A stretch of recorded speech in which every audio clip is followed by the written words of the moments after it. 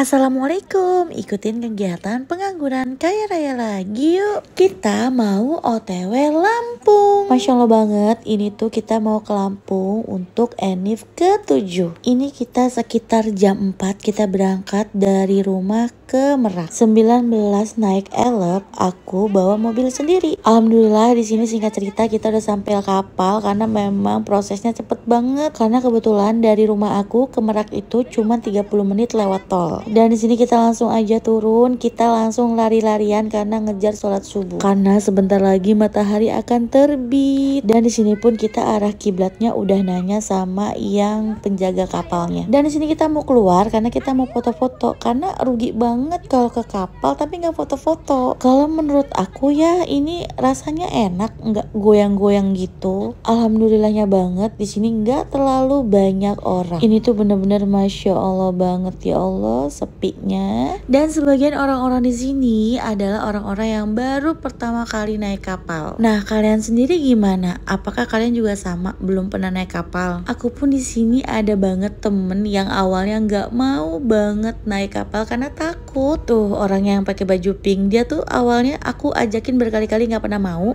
tapi sekalinya dia berangkat, dia pengen nyebrang lagi naik kapal. Dan ini masya Allah mataharinya masih malu-malu uci. Nah kalau udah ngeliat kayak gini tandanya udah mau sampai. Nih kalau kalian duduk di kursi kalian gratis, kalau kalian di lesehan bayar 15.000. Dan alhamdulillahnya di sini langsung sampai tuh kalau ada siger itu artinya mau nyandar. Kita langsung masuk ke mobil masing-masing dan anak-anak langsung aja naik elfnya dan bismillahirrahmanirrahim waktunya berangkat ke tempat acara. Namun di sini aku lewat tol dan habis itu ke rest area Abis itu langsung ke tempat oleh-oleh. Aku kalau ke Lampung aku nggak bisa skip ke tempat ini serius. Pokoknya ini nagihin banget karena menurut aku Lampung itu adalah kota pertama yang gak boleh aku skip karena oleh-olehnya makanannya itu enak-enak menurut aku.